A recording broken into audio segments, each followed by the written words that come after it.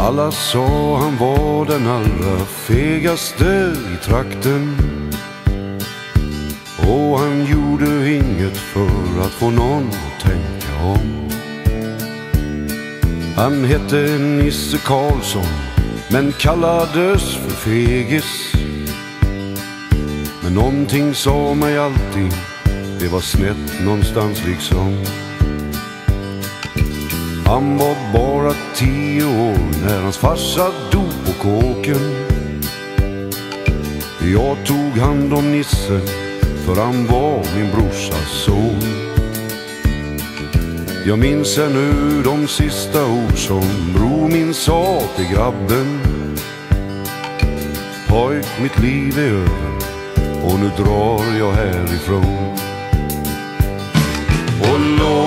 lova mig pojk att du inte gör som jag. Dra dig undan trubbel om du kan. Ingen kallas feg som vänder andra kinden till. Hoppas du är gammal nog och ser Du behöver inte slåss för att vara man. Det finns alltid någon för alla och Nisses liv var Sonja. I hennes famn fanns inga krav på att vara karakar En dag när Nisse jobba kom Dahlbergs grabbar över. Och de slog runt med Sonja ett par gånger var. Nisse öppna' dörren, såg sin Sonja hejdlöst gråta han kände att han nått en punkt där han fått vad han tog. Han sträckte sig mot chiffongen, tog tag i pappans foto. Han höll det tätt intill sitt bröst och hans blick blev hård som stål och pappan sa Lova mig pojk att du inte gör som jag. Dra dig undan trubbel om du kan.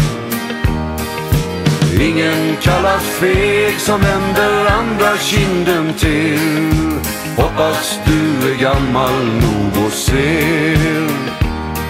Du behöver inte slåss för att vara man. Dahlbergs grabbar skrattade när han kom in på fiket. Och en av dem flög upp och ställde sig i vägen för.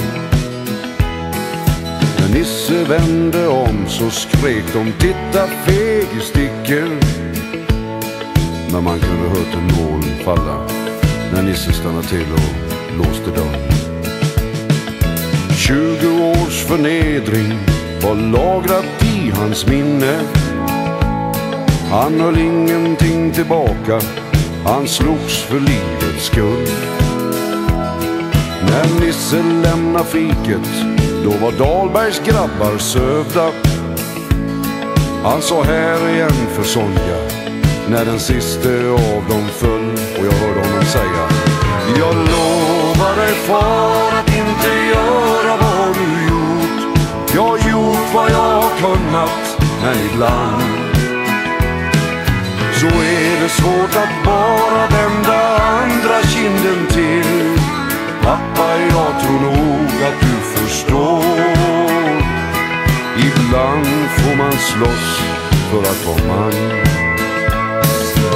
Alla sa han var den allra fegaste i trakten